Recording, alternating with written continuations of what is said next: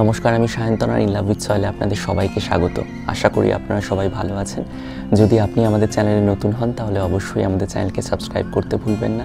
আজ আমি আপনাদের দেখাবো কীভাবে আমি ইউক্যারিস লিলির বাল্ব ডিভাইড করি বা বাল্ব প্রোপাগেট করি। আপনারা এই সেম টেকনিক অ্যাপ্লাই করে অন্য যে কোনো লিলির বাল্ব প্রোপাগেট করতে পারেন। আমার মতে বসন্তকালের শেষ এবং গরমের শুরু এই সময়টাই হচ্ছে যে কোনো বাল্ব জাতীয় গাছের প্রোপাগেশনের জন্য আদর্শ সময়। সাধারণত অ্যামিলিস বাল্ব বা অন্যান্য যে সমস্ত বাল্ব জাতীয় গাছে ট্রপিক্যাল ক্লাইমেটে বসন্তকালে ফুল আসে, সেই সমস্ত বাল্ব জাতীয় গাছ ফুল হয়ে যাওয়ার পর বসন্তের শেষে প্রোপাগেট করে নেওয়া ভালো। তবে এক্ষেত্রে একটা কথা বলতে চাই, আপনারা যারা ইনগ্রাউন্ড প্ল্যান্টিং করেছেন বাল্ব জাতীয় গাছগুলো, সেক্ষেত্রে কিন্তু আপনাদের প্রোপাগেশনের খুব একটা প্রয়োজন নেই। যদি আপনি মনে করেন যে আপনি একটা জায়গায় অনেকগুলো গাছ বড় করতে চাইছেন বা একটা বেশ ড্রিফট অফ কালার তৈরি করতে চাইছেন ইনগ্রাউন্ড প্ল্যান্টিংয়ের ক্ষেত্রে, সেক্ষেত্রে আমি বলব বাল্ব প্রোপাগেশনের কোনো দরকার নেই, কারণ বাল্ব নিজে থেকেই প্রোপাগেট হতে হতে বাড়তে থাকবে এবং আপনি যেখানে একসঙ্গে অনেকগুলো ফুল তৈরি করতে চাইছেন বা বড় করতে চাইছেন, সেখানে আপনি দু তিন বছরের মধ্যেই আপনার ডিজায়ার্ড লুক আপনি পেয়ে যাবেন। কিন্তু যদি আপনি কন্টেনারে বাল্ব জাতীয় গাছ বড় করেন, তাহলে একটা সময় পরে যেহেতু মিডিয়াটা লিমিটেড এবং জায়গাও লিমিটেড, সেই জন্য আস্তে আস্তে বাল্ব নিজে থেকে বাড়তে বাড়তে স্যাচুরেটেড হয়ে যাবে ওই পট বা কন্টেনারের মধ্যে। সেই সময় কিন্তু আপনাকে অবশ্যই প্রোপাগেট করতে হবে। না হলে নতুন যে বাল্বগুলো তৈরি হচ্ছে, সেগুলো অনেক সময় ভালো মতো ফুল তৈরি করতে পারে না। আকারে ছোট হয় ফ্লাওয়ার স্পাইক ফুলের আয়তন বা ফুলের আকার ছোট হয় তো সেক্ষেত্রে কিন্তু বাল্ব প্রোপাগেশন একটা অত্যন্ত গুরুত্বপূর্ণ বিষয়, বিশেষ করে আপনারা যারা কন্টেনারে গাছ বড় করছেন বা বাল্ব জাতীয় গাছ বড় করছেন। তো সেই বিষয়টাই আজকে আপনাদের দেখাবো। আশা করছি আপনারা একটা ভিজুয়াল রেফারেন্স পাবেন এবং আপনারা এই সেম টেকনিক অ্যাপ্লাই করে অন্য যে কোনো বাল্ব জাতীয় গাছ, আমি একটু আগেই বলেছি প্রোপাগেট করতে পারেন। আর বেশি কথা বাড়াবো না, চলুন শুরু করা যাক। প্রথমে আমরা পুরনো টবগুলো থেকে বাল্বগুলোকে বের করে নেব।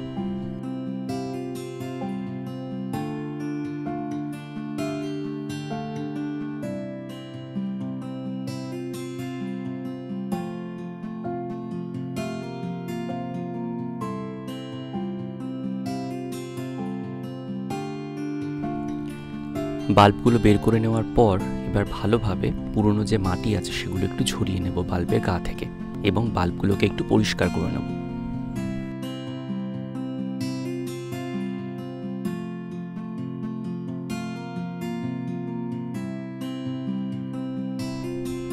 এবার এই যে নতুন বাল্বগুলো আছে, তার মধ্যে যে বাল্বে ভালো মতো রুট তৈরি হয়েছে সেই বাল্বগুলো আমরা ছাড়িয়ে নেব। আর যে বাল্বগুলো এখনও খুব ছোট, সেই বাল্বগুলোকে আমরা মাদার বাল্বের সঙ্গে বা মেন বাল্বের সঙ্গে অ্যাটাচড অবস্থাতেই রেখে দেব।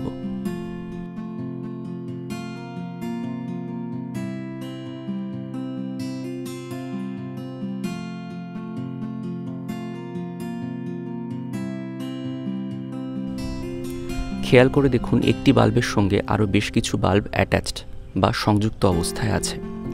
অঙ্গজ জন্মের ফলে বাল্ব এভাবেই নতুন বাল্ব তৈরি করে।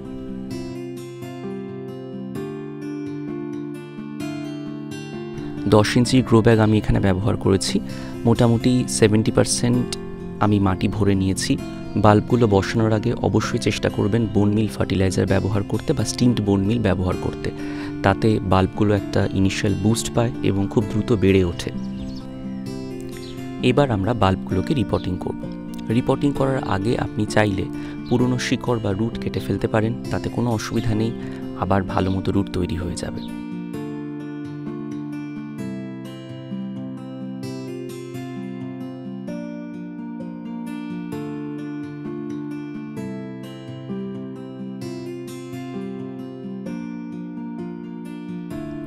বাল্বগুলো বসানোর পর এবার আমি বাকিটা মাটি দিয়ে ভরে দেবো।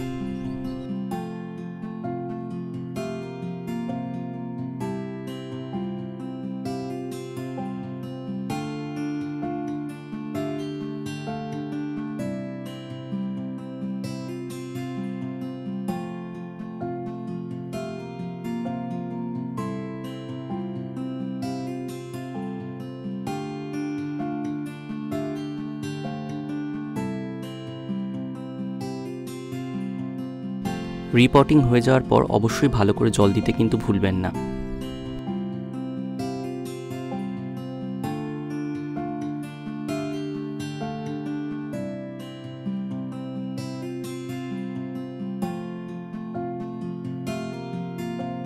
বাল্বগুলো প্রতিস্থাপনের পর আপনি চাইলে পুরনো পাতা বা পোকায় খাওয়া যে পাতাগুলো আছে সেগুলো কেটে ফেলতে পারেন। যদি আপনি সেই পাতাগুলো কেটে ফেলতে চান, তাহলে একেবারে গোড়া থেকে পাতাগুলো কেটে দেবেন। না হলে অনেক সময় ফাঙ্গাল ইনফেকশন হওয়ার সম্ভাবনা থাকে।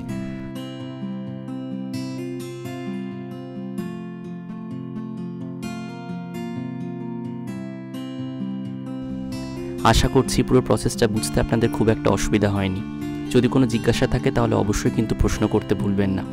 সবাই ভালো থাকবেন, সুস্থ থাকবেন এবং অবশ্যই আমাদের সঙ্গে থাকবেন।